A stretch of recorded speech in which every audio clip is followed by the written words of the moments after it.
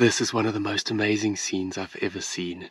It's the classic herd of elephants walking out in the open in Amboseli, and they're walking straight towards us.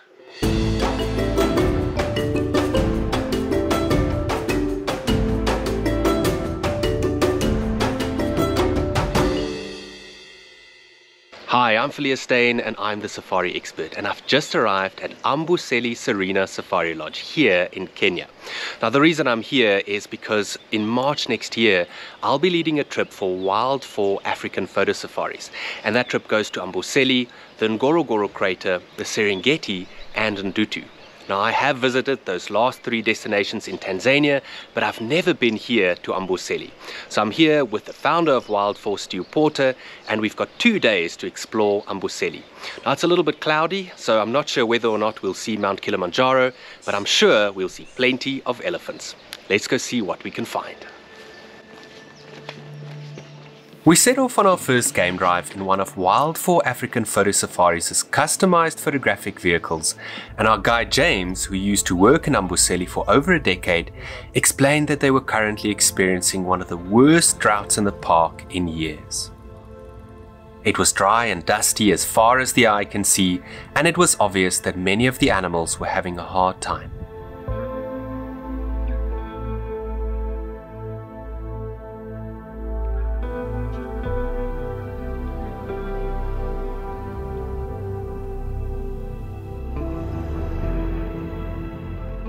But then, completely unexpectedly, we arrived at a massive green marsh teeming with life.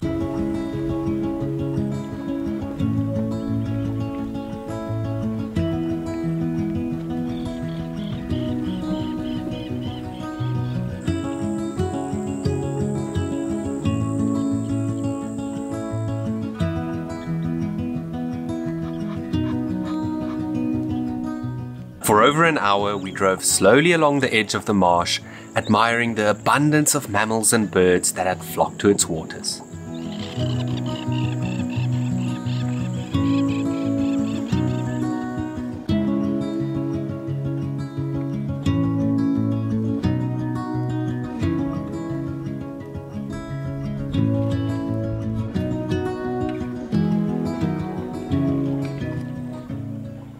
Wow, this is actually an unbelievable scene. There's just elephants as far as the eye can see.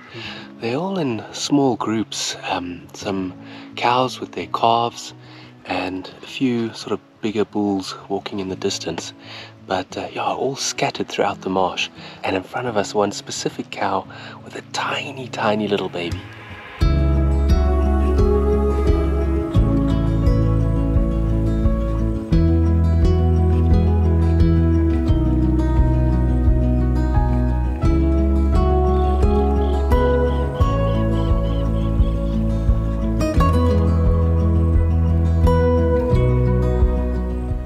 From the marshland, we headed further west to one of the park's large lakes.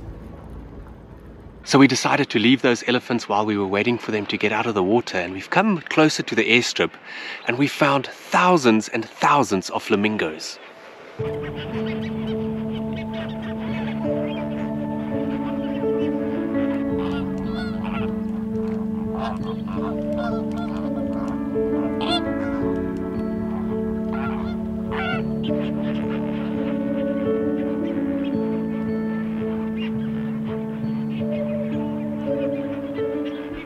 So, Stu, uh, does this always look like this, or was this a bit of a surprise? Um, there's often flamingos at Amboseli, but this is a surprise because they are closer and they're in really good distance for photography and, and filming. So, yes, it's a good surprise. This water system in Amboseli is very interesting. It comes from the snow melt from Kilimanjaro, which um, is an interesting thing because around us at the moment it's so dry, but then there's all this water, and that water is, is from the mountain. So our guide James is saying that these flamingos might start flying soon, and I can actually see quite a few of them starting to flap their wings. Wouldn't that be amazing? Oh, here they go, here they go.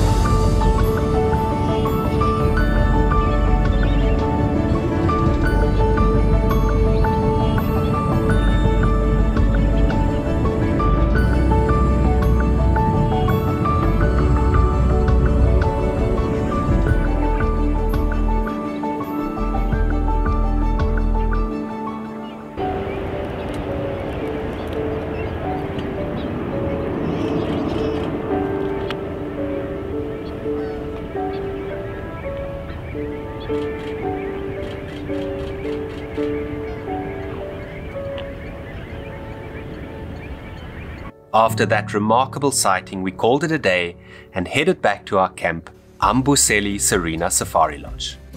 The gardens are large and lush with plenty of seating areas from which you can enjoy the view, and there's also a swimming pool if you need to cool down. The rooms are located in long rows next to each other, and although they're small, they're extremely comfortable. Meals are served buffet style in the restaurant, and one thing you don't have to worry about is going to bed hungry.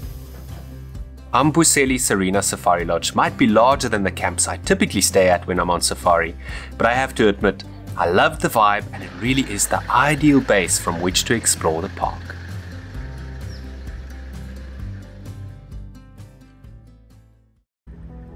The next morning, we headed out before sunrise with the hope of getting a glimpse of Mount Kilimanjaro. And luckily for us, there was a brief break in the clouds, exposing the top of the mountain and allowing the sun to bathe the flamingos, which included both greater and lesser varieties, in stunning golden light. I could have stayed there forever, watching them gather tightly together, noisily shuffling from one side of the lake to the other.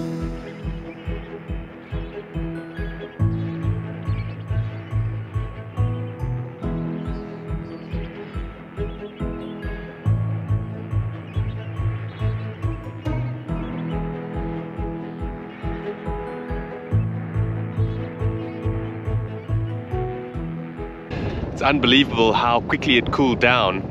We were with the flamingos and we could see Kili and then suddenly the clouds rolled in and it got freezing cold. We're now heading away from that area to a big open pan that's usually dry but because so much of the snow has melted it's now filled with water and on the other side we actually spotted some elephants so we're going to try and get close to them. James kept a close eye on the herd and anticipated their route so that we could park in the best possible spot to photograph and film them. This is one of the most amazing scenes I've ever seen. It's the classic herd of elephants walking out in the open in Amboseli, and they're walking straight towards us.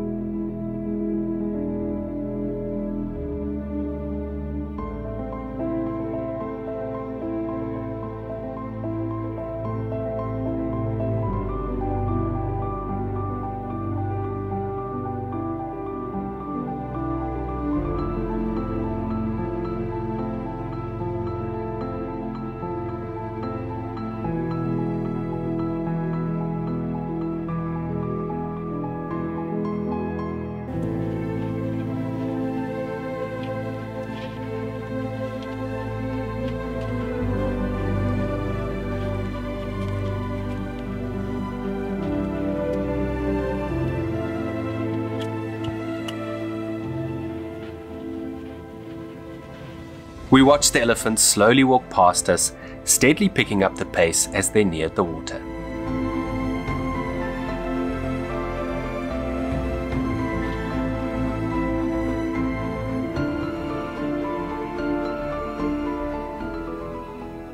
Wow, I must admit, that was one of the most incredible experiences of my life, seeing those elephants walking straight towards us. We've come here to a place called Observation Hill, it's a little rocky outcrop that overlooks the marsh and we just had some coffee, some celebratory coffee and we're gonna head up now just to see what it looks like from the top.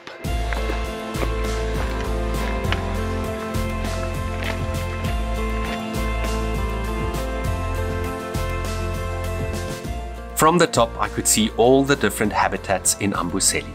The large flat pans on which we saw the elephants earlier, the lakes that attracted thousands of flamingos and a host of other thirsty animals, the lush marshland that is by far the most productive from a game viewing perspective, isolated islands studded with palm trees, and the thorn tree savannas in the distance below the mountain, which attract plenty of browsers.